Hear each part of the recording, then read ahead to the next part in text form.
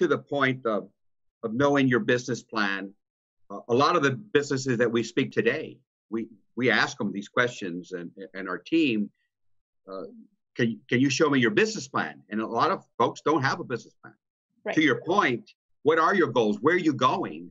So we always want, and there's many, many, many, many um, information you could find online uh, about creating a business plan. So we teamed up with with SCORE, uh, which I, it's a free service. It's on our website at ghcc.org, where you could find a mentor, and that mentor you could meet with that person. Now it's online, uh, vir- virtually, but they could teach you how to do a business plan if you want to start a business or if you have a business.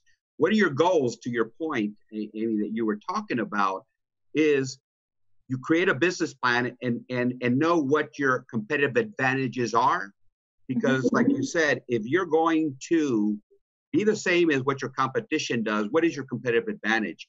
What is your sources of income for revenue for your business? We had uh, during the pandemic we had some programs that we did for restaurants in spanish.